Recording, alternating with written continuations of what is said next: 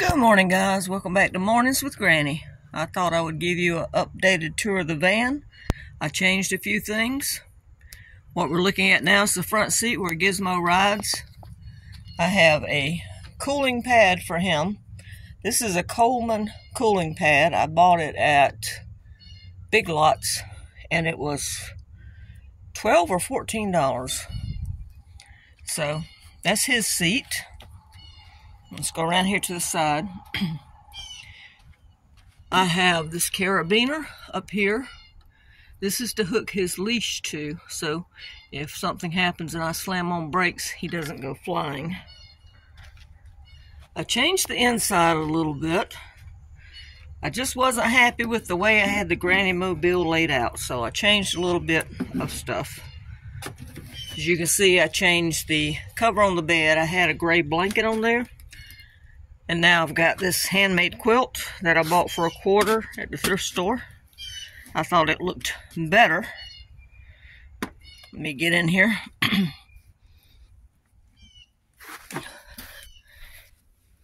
and I have my cooler there. You saw that before. For short trips, longer trips, I have a refrigerator that will go there. I put bungee cords across so that it won't slide forward. I bought some curtains at Walmart and I decided to put the valances up there. That's just a shower rod that I bought. And if you remember, I had a storage ottoman and I had my um, portable toilet or commode in it. Excuse me. but I didn't like that, so I tried it a couple times. I tried it different ways, and I just opted to use my bedside commode. just put a blanket over it. It's a seat for when you don't need it. And I have the, um, I guess you call it pan that comes with it. That's for number one. Underneath it, I have the collapsible commode that I bought. I think it was tri-tips, I believe. Anyway, I put it under there in case of number two. You've got bags and horse pellets, or if I have a leakage or anything, catches it. Christmas tin is my trash can. In the basket over there, I have bagged horse pellets. Some people use kitty litter. Some people use cedar. Horse pellets were a 40 pound bag for, I think it was $7 or $8 at Tractor Supply. I have wipes in the basket also. Put this back down. The seat right here is toilet tissue and wipes and horse pellets. That's the back of the driver's seat. I finally put some curtains up. I bought these kitchen curtains at Walmart. And I was trying to figure out how to put them up there. I couldn't figure out how to make them stick. I thought about Velcro and just all kinds of things. So what I did was back behind here, I put a tension rod. And I'm hoping that's going to hold. If not, I might have to use a little bit of Velcro or something to, to make it sturdier. I don't know. These are Gizmo's collapsible bowls, if you're wondering. Of course, paper towels just hung with a bungee cord. I do have Reflectix for the smaller windows like that and also the front driver passenger windows. I do have Reflectix for that. But, and I know these curtains are saying you can see through them, but if you look, let's see if I can get it where you can see. Right behind here is the blinds that pull down. So I have the blinds and the curtains, and that should be okay. It's not like I'm going to be sitting in here with a bright light anyway. I was thinking, what else did I change? I've showed you this bag before I bought for 99 cents. And what I did was ask my aunt to put two buttonholes right here and right here. And what I plan to do is hang it on that door. I think a couple of hooks in the door and that will work. I know you're asking what's in the back of this seat. It's just paper towels, wipes, uh, bags, citronella sticks. That's about it. I have my fan here. I have two of these.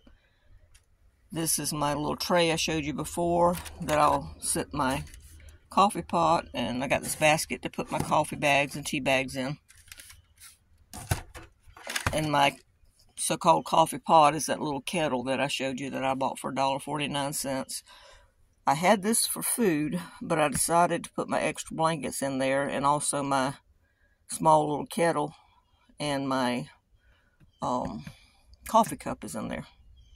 So I found that I had a rectangle basket I'm going to put my food in.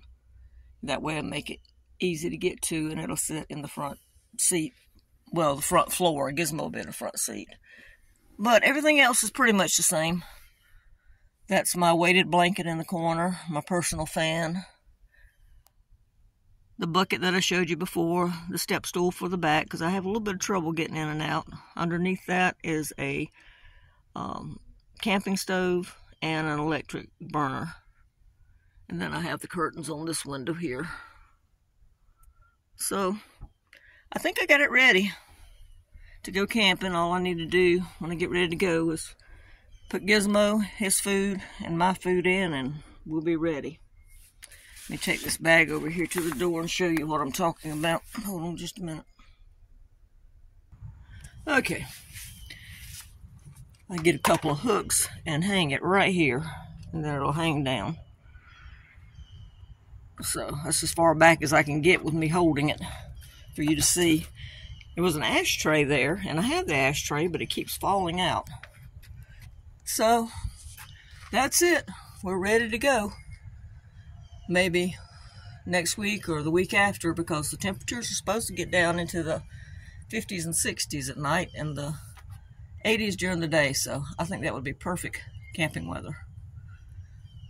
All right, guys, I have some cleaning to do, and I'm going to see my aunt today. She's working on a quilt, so I want to go look at it. Look at it, excuse me. She's working on a baby quilt for somebody. And no, I know I'm going to ask, does she take orders? No, she's doing this as a favor. She does not take orders. She does quilts at her leisure, and um, she gives them to family. So she just finished one. And this lady asked for help on this baby quilt, so my aunt's helping her do it. But anyway, that's pretty much it. The Granny Mobile is ready. All I need is to find me a, a like a, uh, what do you call it? License plate tag. I want one that says Granny Mobile to go on the front. But other than that, she's ready to go. All right, guys, give this a thumbs up. Don't forget to subscribe and have a good day.